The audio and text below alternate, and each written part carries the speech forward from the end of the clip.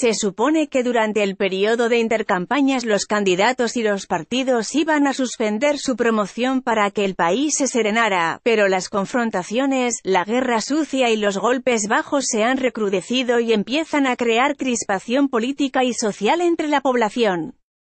En las redes sociales, en los medios masivos de comunicación se cruzan los ataques, que Ricardo Anaya es lavador de dinero, que Andrés Manuel López Obrador nos va a convertir en una segunda Venezuela o Cuba, o que José Antonio Mid es cómplice de la estafa maestra, o que ambos, él y Anaya son los padres de los gasolinazos. Los botones de muestra de los choques directos se acaban de suscitar cuando Mid se burló de que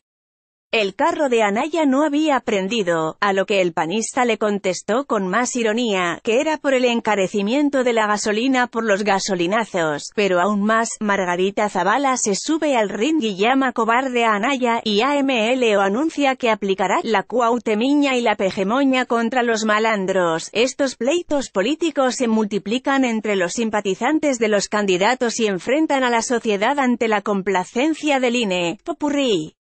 Se prolonga la espera y la agonía en el PAN, debido a los conflictos internos que se suscitaron a partir de los descontentos que surgieron por la designación de los candidatos pluris a senadores y a diputados federales, en el CN del PAN está bastante ocupados haciendo funciones de apagafuegos y se posterga al parecer para la próxima semana la designación de los candidatos a diputados y a la alcaldía de Ahome y de todo Sinaloa. Juan Pablo Yamuni reconoce que esperaban que para este fin de semana se decidieran las candidaturas, pero se supone que las propuestas del Consejo Estatal del partido apenas se están elaborando para enviarse a la Ciudad de México y de allá regresarlas ya palomeadas, se supone que por el momento se están haciendo los reacomodos.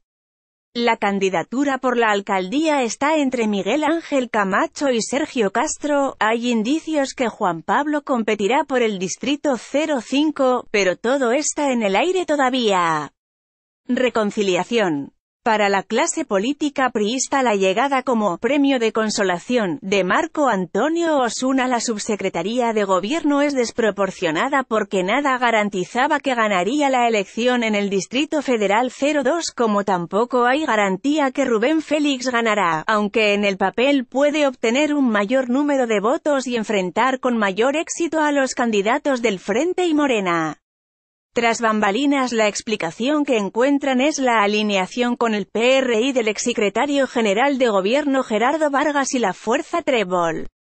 El primer indicio del pacto de reconciliación lo dieron el mismo Gerardo y el candidato priista a la alcaldía Álvaro Ruelas, al subir a las redes sociales una fotografía en la que aparecían juntos en precampaña, pero la confirmación definitiva se dio ayer cuando Gerardo ratificó todo su apoyo al PRI y a sus candidatos. Esperan que con esto el priismo cierre filas y se acaben los jaloneos.